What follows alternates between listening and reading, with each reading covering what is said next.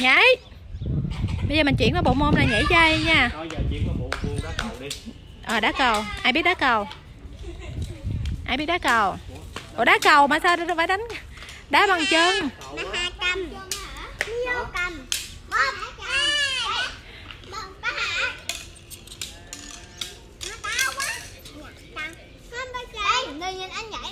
Chuẩn bị nha. Hai, ba. Làm lại. Xuống đụng đất. rồi ok. Làm đi vô đây ánh nắng rồi Không phải đứng Không phải đứng Nắng quá. Trước chỗ này mới được Ngang, ngang, ngang, ngang rồi. đây đây đây đây. Rồi. Đứng trước đúng không? rồi hai ba. Không Không. Không ba mẹ Ba mẹ phải làm như vậy mấy em mới làm được. Nè mấy em đứng sau thì ba mẹ phải từ đây lật xuống. Rồi ok. Rồi một hai. ở nha để xích ra. Đ- đến xích ra gây trúng. Ba. Tiếp Một cái xong. Rồi, được cái. Được một cái rồi. cầm cầm rồi không cầm không hả đi nhỏ đi nhỏ đi nhỏ phải làm Đúng rồi. Quay, quay vòng tròn này nè. Quay vòng tròn này nè. Cất đi, cất đi. một hai ba bắt đầu quá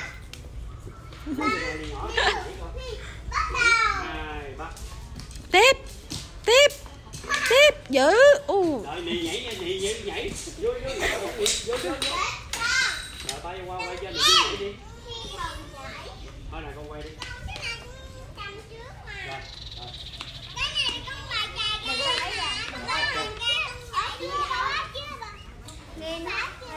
Hai, hai, ba. Rồi, chuẩn bị nha. À, lại, lại, lại. Giết chúng rồi tôi khổ dễ sợ Đây, đây, đây, đây, cầm đây, đây, cầm đây, nè, nè, nè, nè, nè, chắc tới tết không nhảy được quá Rồi, hai, ba. Tiến sẵn nha. Hai, ba.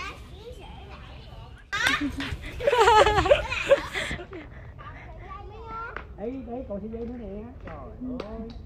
Trời ơi. Trời ơi chia nhau đi. Đó, hai ô biết nhảy kìa.